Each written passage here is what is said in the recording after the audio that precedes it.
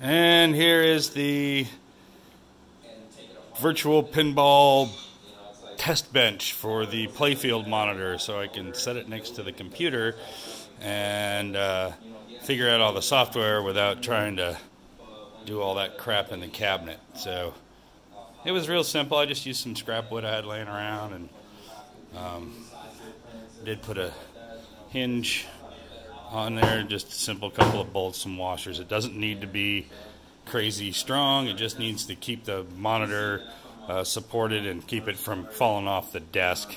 So, anyway, that was that. More later.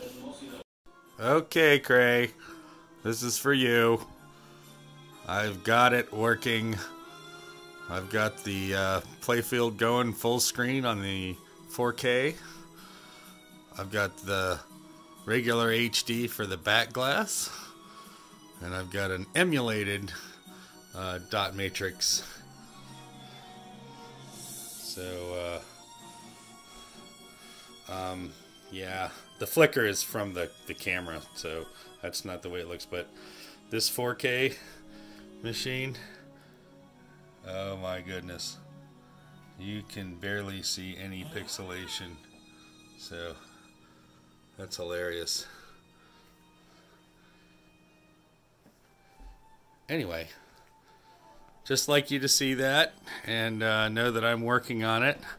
This is for Pinball FX3. I am also working on the virtual pinball, which I have working. I have Star Trek tables, um, a Diablo table, and some other stuff. I'm working on the animated back glasses, and then I will get into the future pinball and some of the other stuff. But this is a sustainable configuration which I've documented and I can reproduce it very quickly. Talk to you soon.